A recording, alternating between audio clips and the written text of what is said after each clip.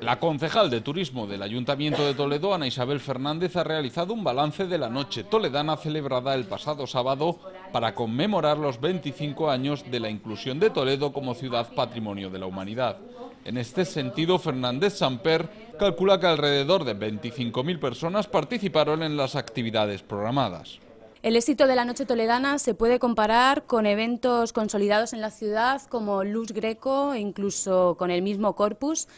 El casco histórico en pleno noviembre se asemejaba a la noche previa al Corpus, donde podemos encontrar las calles de Toledo llenas de gente de un lado para otro.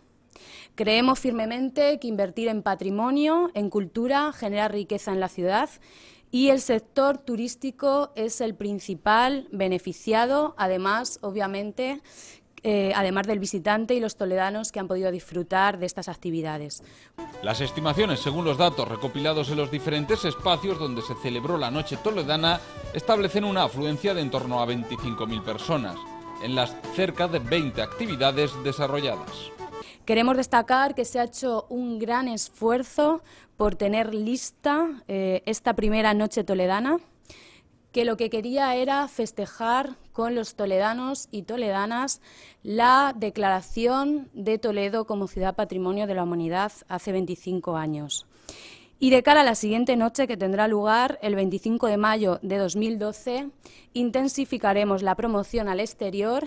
a las comunidades autónomas limítrofes y se cerrará el programa con tiempo suficiente para que los hoteles tengan conocimiento y puedan ofertarlo en sus, en sus paquetes y en las promociones que realicen. La próxima edición se celebrará el 25 de mayo, colofón de los actos del vigésimo quinto aniversario de Toledo como ciudad patrimonio mundial, preparándose para entonces un programa completo con la intención de mostrar un Toledo rico en patrimonio y cultura a un turista con un perfil eminentemente nocturno.